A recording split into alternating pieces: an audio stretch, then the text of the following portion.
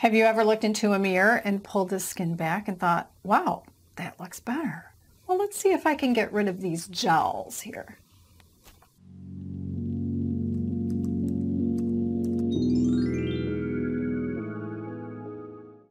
Hi, I'm Glory B and this is Glory B TV, a lifestyle channel for mature women who want to look fabulous, feel amazing, and age gracefully. And I want to look fabulous. I don't know about you, but um, I, I don't like how this looks on me, no. So I don't have plastic surgery plan. I would probably like to get fillers, but all of that is expensive.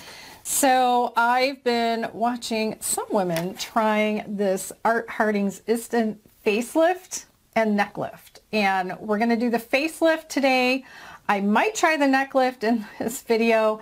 Um, I did try the facelift on another day and I'm glad that I tried it without just doing a video on it because it's a little tricky. So let's get started trying this out. I'll have links to this below the video in the description box. If you don't know how to get to the details of the description box, if you're watching on a phone, there's a tiny little triangle that's gray and you need to touch it or tap it with your finger and that will open up the description box. If you're watching on a computer, below the video you'll see some text and you'll see the words show more. Click show more with your mouse and that will open the description box. Now inside of this there are a couple elastic type bands. There is an instruction booklet which is somewhat helpful. The, the pictures aren't all that bright but they are helpful for a step-by-step. -step. Now, um, they also have other little tapes that come with it. So this is not a one-time use. You can use this multiple times and hopefully you can even buy more tapes. Um, actually, they have two little packages of them. And then for the for the part that lifts the jowls, you're going to put this behind your head and the little tapes are going to be attached to these ends. It actually came with one tape on each, but after you use it up, then you have to pull one out of the little bag and put one on. And then you can get them either in brown or you can get it in a lighter color. I went for brown because I really am a brunette and I have dark roots. And this goes behind your head and then there's a little clip. Now let me see if I can get my video to zoom in on this. It's trying to zoom in on my face, but you put these behind your head and you clip it and that holds it in place under your hair. Now, of course, that begs the question, it's best to do this if you have thick hair and if you have longer hair. I don't think it's going to work with short hair. Now, I want to show you the back of my hair because I have layered hair so it's a little harder and I don't have thick hair but it did work. So let me um, turn around and I want to show you how my hair looks in the back. I'm sitting in a chair. And of course I don't have eyes behind my head so I'm not sure what you can see but you'll see this top layer only comes to here.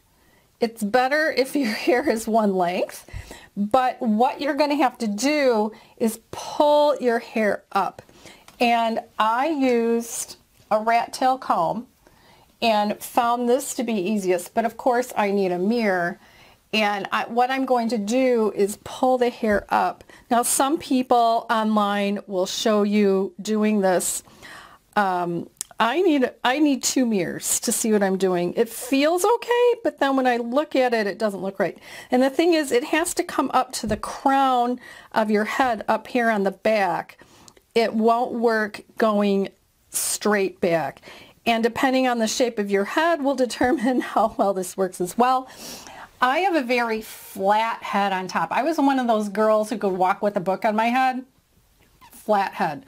So if you have a head that's not as flat as mine, I think it's going to be easier. So let's see how we're going to do this. Um, I'm going to start by pulling out one of these. And now I have one of these, but actually they're perforated, so I'm going to pull them apart because you need one for each little clip.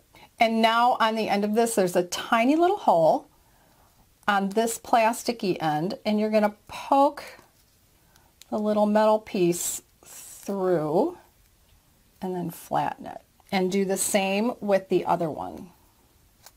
Poke the little metal thing through. All right. Okay. All right, now I'm ready to put my hair up. And I have a couple mirrors with me here off camera. And you want to go, um, I'm going to end up putting the tape right here after I clean off my face, but you want to go up. So make sure that you take that up. It would also help to have a second person and then you're going to clip your hair. All right, now I put a clip in my hair up here to just clip all that hair out of the way. And then I need to clean my face around this edge because I have makeup on with alcohol. Now, I keep rubbing alcohol in a little spray bottle. I'm just going to spray a cotton pad and clean that off. Oh, great. My bang's in the way, of course because you want it really clean. Now the thing about these tapes is they are very, very, very sticky. And removing them later was something else. Do you remember being a child and having a band-aid on and your parent had to pull the band-aid off you and it hurt so bad, especially if it was on little hairs like on your forearm? That's what it was like. Even though I got my hair out of the way, little hairs still got under that tape and oh, it really hurt coming off. But it means that they stay. And I actually went outside and was out walking the dog with these on the other day. So I'm going to dry this off because I want it clean and dry. All right, so now I have one of these and um, let me see, how do I want to do this? Okay, I'm going to put I'm going to put the shorter one on this side and just going to pull off the backing and you don't want to touch the sticky part and I'm just going to put it oh, remember the little hairs. And of course I'm going to be wearing my hair in front of my ear. Okay and it's just hanging here but I'm going to take this piece around the back of my ear. And then this longer one, I'm going to pull the backing off as well, if I can find it. And move the hair out of the way. I'm looking in a mirror. I'm putting it right here and doing this. So now I'm going to hold, well, off camera, I'm going to come back in a second, but I'm going to hold it in place really tightly for about 15 to 20 seconds. Now that I've held that in place for 15 to 20 seconds, I'm going to pull these up and you can see, well, I can feel it and I can see it in a mirror that I'm looking at. It's actually pulling all this jowly stuff away. So let me put these over my ears and I'm going to go along that and again it can't be too low and I'm connecting these little thingies I'll turn around up here and now I'm going to take the clip off my hair and I had only done my hair part way. Usually I do a little back combing up here, which I will do, and I spray it, and I haven't done that yet. So I just wanted to show you how it looks with hair that's fairly thin, but you have to wear it forward. So now here's the comparison. And when I smile, my jolly look goes away. But when I don't smile, that's when you can see it. Now, this, is tight. And some of you might even get a headache from this, but for something temporary, um, maybe you're going to a wedding, maybe there's going to be some pictures. Um, when I did this the very first time over the weekend, I got a picture with my boyfriend who's a lot younger than I am and I look younger than he does. Now let's show you the neck piece. So the neck piece is just this little tiny one. And again, you clean off the back of your neck and you put the, st the stickers back, you know, one on one side and one on the other of your neck. So as long as I'm here, let's try it. I'm going to clip up my hair and use the alcohol again. And I'll clean a couple places back here. And I'll take another one to dry it off because I don't want to wait. And the same idea applies. You don't want to get, you don't want to stick it on here. And um, again, I brought the brown.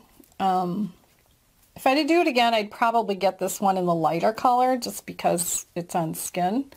But the idea being I'm going to take the little papery things off and then stretch it a little bit, put one side on one, stretch the other one off, and it's supposed to pull the neck back. I think I have worse gels than neck stuff going on, but let's try it. So I'm going to peel off a backing.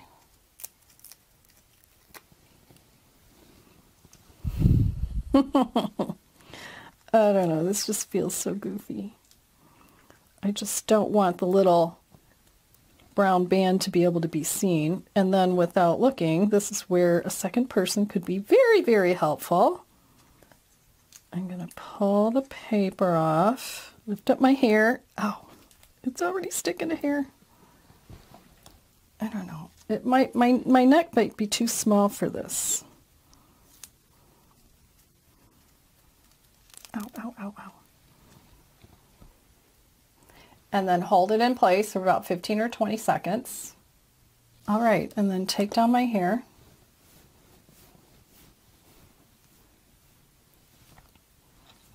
The neck one isn't as tight feeling as the head one, but if you've got a neck thing going on, I think the neck ones could be very helpful. Now let me turn around so you can see my hair. Of course, I haven't redone my hair, which I, I want to finish it, and that way I can make sure in a mirror in the bathroom, at a double mirror, that nothing's showing. But let me turn around for a second and let's see what you can see. Okay, so the, the plastic thing is up here like I said, I don't have thick hair, so I need to work on this hair before I would go out in public. So that's it. I think you should give this a try. It's fairly reasonably priced and you can decide if you want the brown or the blonde. Check out one of my other anti-aging videos by clicking its image on the right side of the screen and I'll see you in the next video.